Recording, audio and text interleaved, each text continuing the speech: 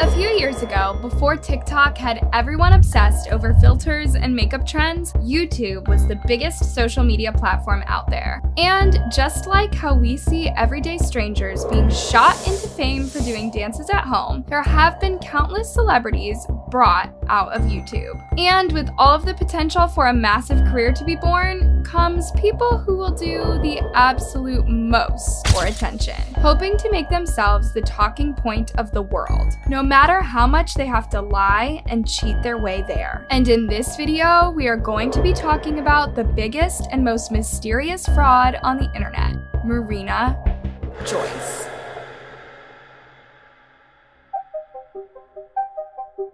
Marina Joyce was born on the 1st of February 1997, making her 25 years old at the time this video was made. She started her YouTube channel all the way back in 2010, in the era when channels like Fred and Smosh were dominating the entire platform. And on her channel, she would post makeup tutorials, how-to videos, Q&A videos, and even advertisements and recommendations, describing herself as the sacred Cat Moon Princess of Love. Although Marina would post pretty consistently on her channel, her channel did not grow as fast as she probably would have liked, and she was relatively unknown in the bigger picture of the YouTube world. However, in 2016, she would shock the world, making headlines in every consumable piece of media there was, as her fans started to speculate that some horrifying things were happening.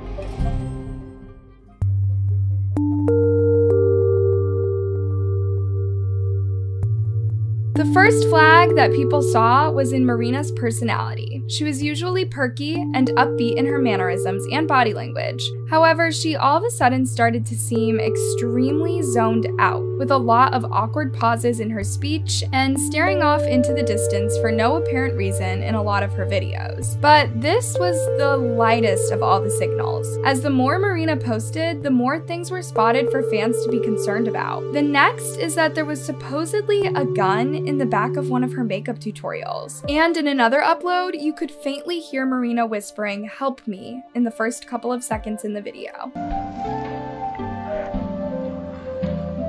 There were also a lot of mysterious bruises spotted all over Marina's body, which led people to believe that she may be experiencing a at her own home. It was also assumed that Marina might have been going through substance issues, which would explain her spacey demeanor.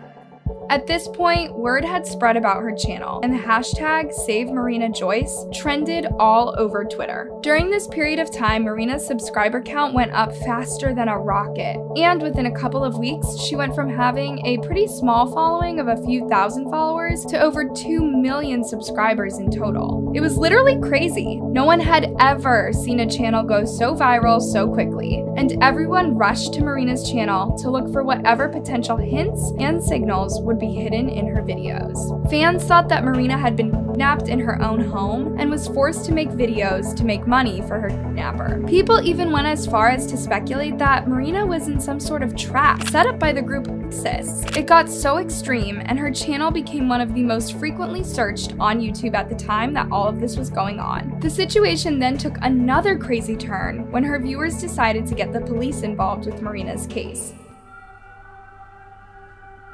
Fans contacted the police services in Enfield, which is the part of London that Marina was living in. They explained the YouTube channel to the police and all of the bizarre red flags and asked them to do a wellness check on Marina, just to ensure that she would be okay. The police cooperated and visited Marina's home. They checked over the scene and then made a tweet announcing that Marina was safe, saying, Officers have visited YouTube user Marina Joyce.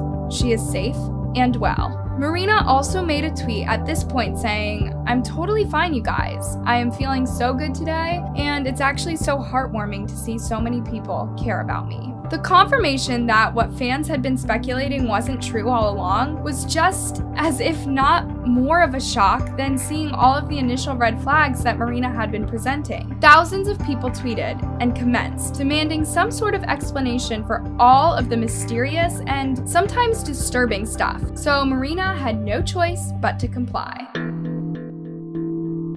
In a YouTube video, she went through everything in her videos that had been assumed as cries for help. Firstly, saying that the video where fans thought they could hear her whispering, help me, was actually her mom, Cheryl Joyce. She said that Cheryl had been operating the camera and was filming Marina for her channel, but was getting confused, so asked for Marina's assistance. This wasn't the only way that Marina's mom was used in her reasoning. She also explained that in a clip where Marina seems to stare off into the distance and start weirdly twirling around was also actually just her looking at her mom, who was instructing Marina on what to do. In another interview with The Guardian, Marina and Cheryl further explained everything. From the bars over the windows in Marina's house being to stop burglars, not being there in order to trap Marina, and the bruises on her arms were not actually the result of any abuse. Instead, Marina had just had a bad fall which caused the injuries. The reaction to the case of Marina Joyce was a very scattered one. A lot of people were happy to see the situation resolved. However, despite the police even being involved, they still thought that Marina remained in a dangerous environment. But this group of people slowly started to lose their interest in her altogether. On the other side of the coin, a lot of people started to attack Marina on social media, accusing her of calculating and faking the entire situation for clout. They argued that Marina didn't know how to grow her channel in a typical way, so she resorted to lying and leading fans to think she was being kidnapped. They attacked Marina, saying that it was extremely cruel to lie about being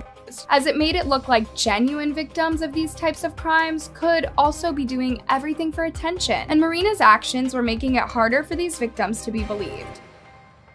The controversy did not end there though. In 2019, three years after the internet first blew up over Marina, she was reported to have gone missing from her home for 10 days. She was reported missing on August 7th, with reports saying she was last seen on July 31st. Once again, hashtag Save Marina Joyce was having its sequel, and an online manhunt was set up by Marina's fans to make sure that she was okay. After getting involved once again, the Enfield police tweeted telling everyone that Marina was safe and her boyfriend also made a post to announce Marina's well being. In the post, he says, This is a temporary to send a message to everyone that is worried about Marina. Everything is being dealt with in a professional manner Please don't worry about her as she is safe and well. Also, everyone who thinks I'm acting suspiciously is only misinformed and doesn't know me at all. Marina then echoed this, tweeting about her status of well-being, where she enlightened her fans in a post reading, I never went missing in the first place. Also, Brandon has been so loyal throughout all of this, so don't trust anybody but him when somebody says something because he's the only one who knows everything and is my closest, and protects me more than any person out there. So, according to Marina, this whole revival of her controversy controversy had all been one big misunderstanding. But it still leaves a lot of people to believe that she has always been okay, and that everything about her was an act to get views and subscribers. Currently, Marina still posts videos fairly frequently, however, her view count is nowhere near where it was four or five years ago when she was the name on everyone's lips. If this theory of Marina being a calculated character, pretending to be in a disturbing environment is all true, it would make her one of the biggest frauds in internet history. But what do you guys think? Let me know down below in the comments.